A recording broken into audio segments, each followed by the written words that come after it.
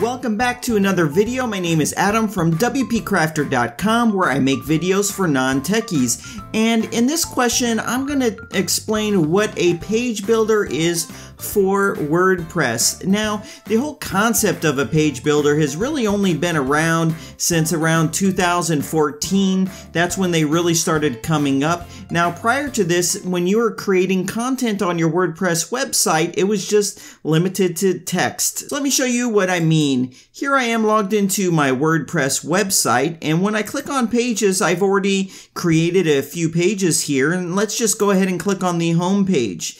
Now, before you had page builders, this is your your process for adding content to a page. You would sit here and you would type out your content.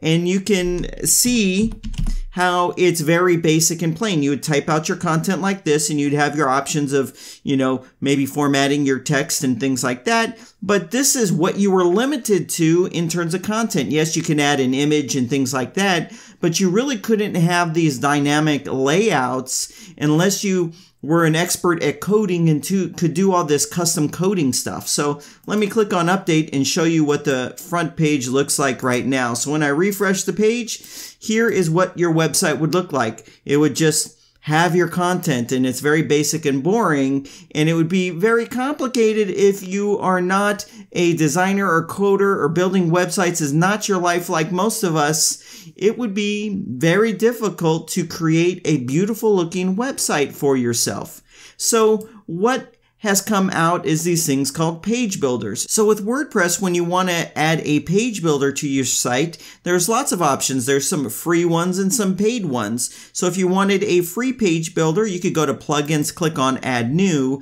and then you just have this search box here and you could type in uh, page builder just like that. And here are some of your options, and there's a lot of options. Now, I have done several videos on page builders. Now, if you want a free page builder, there really is only one that you should be looking at, and it's called Elementor.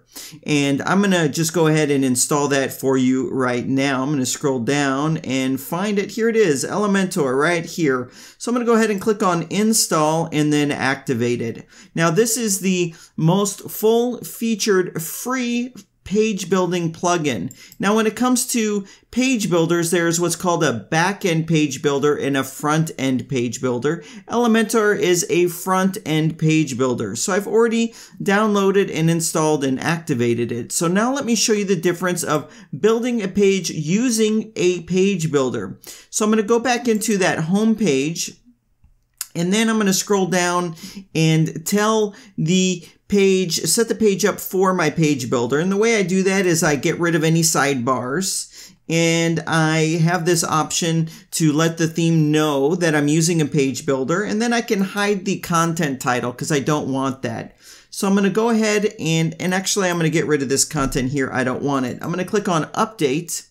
Now what I'm going to do is I'm going to click on this big button here that says edit with Elementor. So instead of putting my content here, I'm going to do it with this new free plugin page builder called Elementor. So when I click on it, it's going to put me right into the Elementor interface. And it's a whole different experience with building a page. It's all done visually. So I can create columns and I can put content in those columns. And here's all these options of content that I can put in those columns. But instead of showing you that bit by bit, let me just install one of the pre-designed templates that come with this free page builder.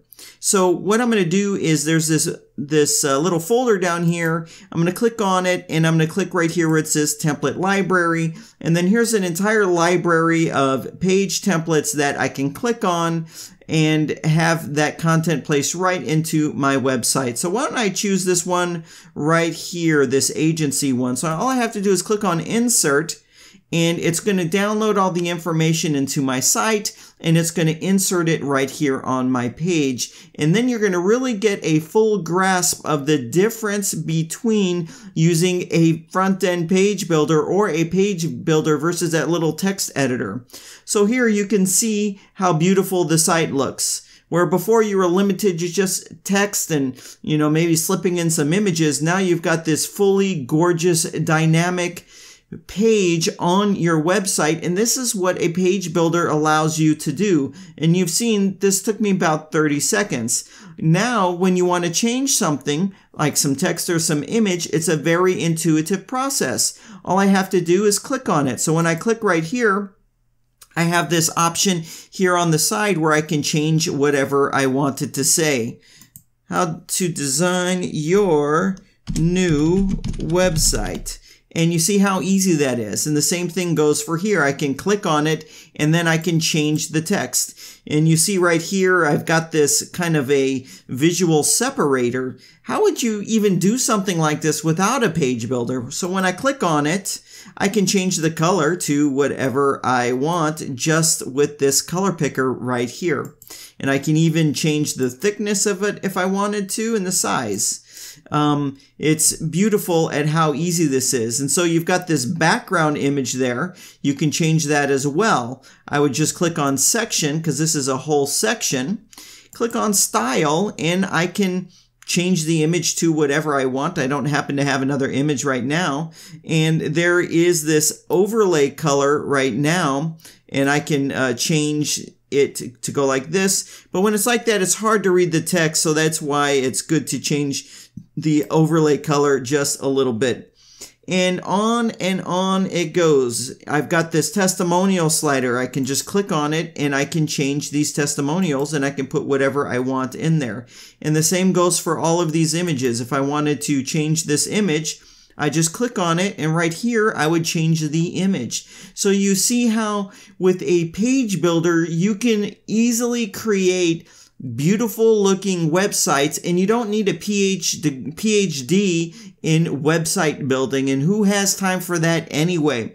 The page builder, especially this free one, Elementor, allows you anyone to build a dynamic website and you can easily move things around. If I wanted to say move this, all I have to do is click on it and I can move it wherever I want it. If I wanted it right here or maybe above this image, that's all I have to do to move things around. If I wanted to duplicate something, all I have to do is click on the duplicate button and the same goes if you want to remove something. You just click on the X and click on delete. And if you make a mistake, let me just put that back like that. So there we have it. Oops. This is on top. So you see how easy it is to shuffle things around and move things around. And that's just what I love about page builders, but more specifically, this free page builder. Now this is Elementor. There's several other page builders, free ones. By far, Elementor is going to be the best free page building plugin there is. There's also a variety of paid page builders. I have a page on my website dedicated to paid page builders and giving you pricing and feature sets and my opinions on all of those. But by far, Elementor is the, the best free one.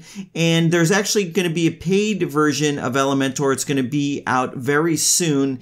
And I think that is probably going to be the best paid page builder as well for WordPress. But we'll see when that comes out. I will for sure have videos on it. Hey, if you want uh, any information about Elementor and page builders, I'll have the links down below in the show notes. I'll have a link to Elementor's website so you can check it out. And I'll have a link to the page on my website that goes over all these and is like a page builder tracker. And you can get the most up to date information right there as well. Hey, before you go, I have something for you. And before I get into that, I wanted to ask you to do something for me. If you could give me a thumbs up on this video, and if you're not a subscriber, click on the subscribe button right beneath me. If you have a question on this video, I'd be happy to answer it. You can also leave a comment or a question down below this video. Hey, I put together a course just for you, and I'm going to give it to you for free. All you have to do is click on the button right here on the right. It's called the three steps to WordPress Success. It's an awesome course. You're gonna love it. I would love for you to join in and enroll as a student in this course. Thanks for watching this video. I really appreciate it and I do it just for you.